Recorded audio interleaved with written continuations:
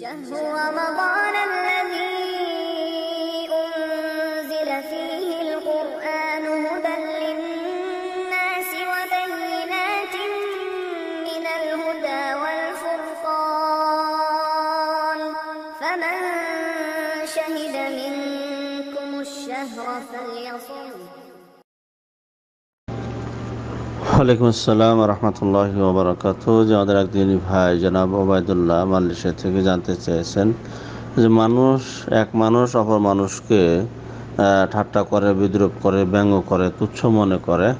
তো এটা শরীয়তে কতটুক এই ধরনের এক অপরকে তুচ্ছ করা, ঠাট্টা ঠাট্টা করা, বিদ্রুপ করা, এটা শরীয়তে কীভাবে দেখে সে বিষয়ে তিনি জানতে চেয়েছেন।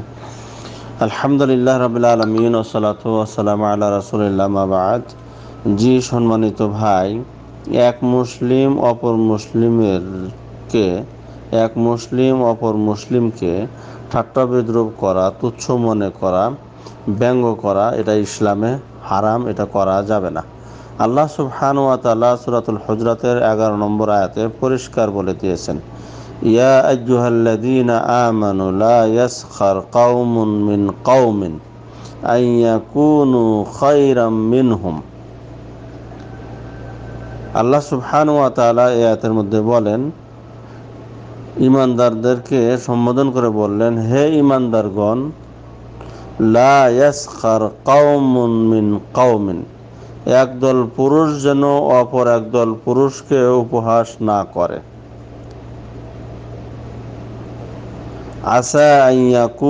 খাইরাম মিনহুম। কেননা যাদেরকে উপহাস করা হয়, ঠাট্টা বিদ্রুপ করা হয়, তারা ঠাট্টা বিদ্রুপকারীর দল অপেক্ষা উত্তম হতে পারে।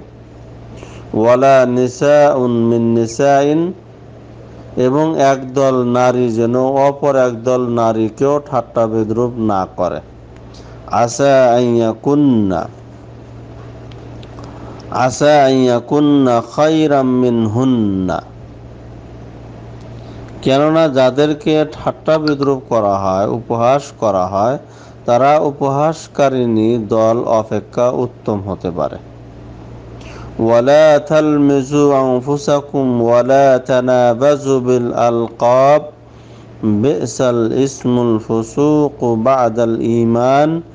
ومن لم يتب فأولئك هم الظالمون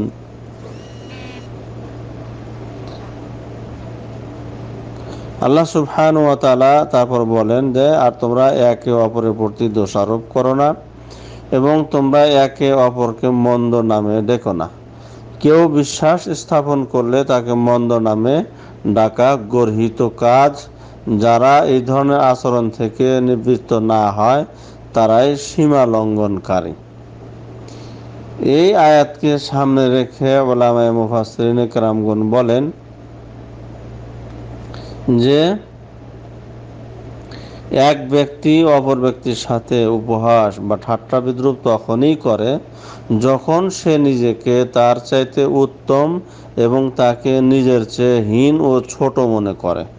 অথচ আল্লাহ সুবহান ও তালার কাছে ইমান ও আমলের দিক দিয়ে কে উত্তম আর কে না, এ জ্ঞান শুধুমাত্র রব্বুল আলমিনের কাছেই আছে। কাজেই নিজেকে উৎকৃষ্ট এবং অপরকে নিকৃষ্ট মনে করার কোনো বৈধতা নাই। তাই আয়াতে অপরকে উপহাস করা থেকে নিষেধ করা হয়েছে।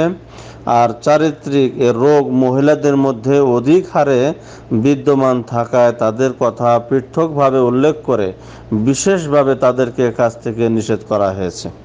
রাসুল সাল্লাহ সাল্লামের হাদিসে মানুষকে তুচ্ছ মনে করাকে অহংকার বলে আখ্যায়িত করা হয়েছে। সাই মুসলিমের হাদিস আল কেবরু বাতারুল হক ওয়াগাম ওয়াগামথুন্নাস আর অহংকার ও অহংকারীকে আল্লাহ সুবহান ও তালা চরম ঘৃণা করেন। এবং তার পরে আয়াতে আল্লাহ তার ওই আয়াতের এক অংশে শেষের দিকে আল্লাহ সুবহান তারা বলেন, যে তোমরা কোনো দোষ বা ত্রুটি ধরে একে অপরকে খোটা দিও না। যেমন বলা, তুই তো অমুকের বেটা, তুই তো অমুকের বেটা না, তোর মা তো এরকম ওরকম তুই তো অমুক বংশের না, ইত্যাদি ইত্যাদি বলে মানুষকে খোটা দিয়ে থাকে। এবং তারপরে বলতেছেন যে, ব্যঙ্গ ও তুচ্ছ জ্ঞান করে মানুষের এমন নাম রেখো না বা এমন খেতাব বের করো না যা সে পছন্দ করে না। অতএব, অথবা তার ভালো ও সুন্দর নামকে বিকৃতি করেও ডেকো না। এইভাবে নাম বিকৃত করে অথবা মন্দ নাম বা খেতাব রেখে সেই নামে ডাকা কিংবা ইসলাম গ্রহণ বা তোবা করার পর তাকে অতি ধর্ম বা পাপের সাথে সম্পৃক্ত করে সম্বোধন করা, যেমন হে কাফের বা এ ইয়াহুদি, লম্পট, মাতাল ইত্যাদি যারা মানুষকে ডাকে বা সম্বোধিত করে। এগুলো হচ্ছে গর্হিত কাজ এবং খুবই মন্দ কাজ এবং এটাকে গুনার কাজ বলা হয়েছে। তবে কোনো কোনো গুণগত নাম কারও কারও নিকট এ নিষেধের আওতাভুক্ত না, যার লোকের মধ্যে প্রসিদ্ধ হয়ে যায়। সে এ নামে নিজ অন্তরে কোনো দুঃখ বা রাগও অনুভব করে না। যেমন খোড়া নামে যদি প্রসিদ্ধ কোনো খোড়াকে খোড়া বলে ডাকা, যেমন কালিয়া, অথবা কালো নামে প্রসিদ্ধ কোনো কালো রঙের লোককে কালিয়া, কালো বা কালো বলে ডাকা হয়ে থাকে তো এই ধরনের নামে যদি কেউ প্রসিদ্ধ হয় এবং সে যদি মনের মধ্যে কোনো দুঃখ কষ্ট না পায়, এই নামে ডাকলে পরে সে রাগও করে না, বরং এই নামে পরিচিত, এই ক্ষেত্রে তাদেরকে এই নামে ডাকতে কোনো অসুবিধা নাই। আল্লাহ সুবহান ওয়া তাআলা সূরা হুমাজার এক নম্বর আয়াতে বলেন, ওয়াইলুল লিকুল্লি হুমাজাতিল লুমাজা। দুর্ভোগ প্রত্যেকের যে পশ্চাতে ও সম্মুখে লোকের নিন্দা করে। এই আয়াতের অর্থ ওলামায়ে মুফাসসিরিন কেরামগণ উম, বহু অর্থ করেছেন। তার মধ্যে কিছু অর্থ হলো এই যেমন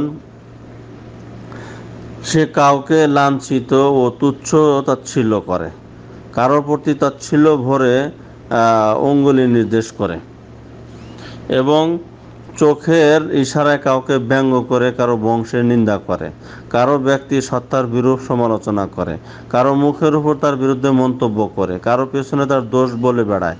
কোথাও এর কথা ওর কানে লাগিয়ে বন্ধুদেরকে পরস্পরের বিরুদ্ধে লেলিয়ে দেয়। এই ধরনের বহু অর্থ মুভাসরিনে কোরআন করেছেন এবং এগুলো হচ্ছে গুনার কাজ এবং এই সমস্ত কাজ করা থেকে আল্লাহ সুবহান ওয়া তাআলা আমাদেরকে কি করেছেন নিষেধ করেছেন তাই তো হাদিসের মধ্যে দেখা যায় وعن ابي هريره رضي الله عنه ان رسول الله صلى الله عليه وسلم قال بحسب امرئ من الشر ان يحقر اخاه المسلم رواه مسلم মানুষের মন্দ হওয়ার জন্য এতটুকুই যথেষ্ট যে সে তার মুসলিম ভাইকে তুচ্ছ ভাবে সে মুসলিম ভাইকে তুচ্ছ ভাবে যাই হোক এ মর্মে আরো বহু হাদিস রয়েছে যে কথা প্রমাণ করে যে এক মুসলিম অপর মুসলিমকে তুচ্ছ মনে করতে পারে না ঠাট্টা বিদ্রোহ করতে পারে না আহ, গালিগালাজ করতে পারে না অভিশাপ করতে পারে না তার দলিল ও আনিব মাসউদ রাদিয়াল্লাহু আনহু قال قال رسول الله صلى الله عليه وسلم ليس المؤمن بالطعان ولا اللعان ولا ফাহেসে ওয়ালাল বেদি, রওয়াহ তিরমিজি। রসুল সাল্লাহ সাল্লাম বলেছেন, মুমিন খোটা দানকারী, অভিশাপকারী নিলর্জ ও অশ্লীল ভাষী হয় না। যাই হোক, এ সমস্ত আয়াত এবং হাদিস থেকে আমরা বুঝতে পারলাম যে একজন মুসলিম হয়ে অপর মুসলিমের ঠাট্টা, বিদ্রুপ, ব্যঙ্গ, তুচ্ছ মনে করতে পারে না। এটা ইসলামে হারাম এবং বড় গর্হিত কাজ এবং গুনার কাজ এবং এ কাজ থেকে আমাদেরকে আল্লাহ সুবহানু ওয়া তাআলা এবং রাসুল সাল্লাহ সাল্লাম নিষেধ করেছেন এ সমস্ত কাজ থেকে বিরত থাকতে বলেছেন। বাকি আল্লাহ আলম বিসবাব সালামু আলাইকুম রহমতুল্লাহি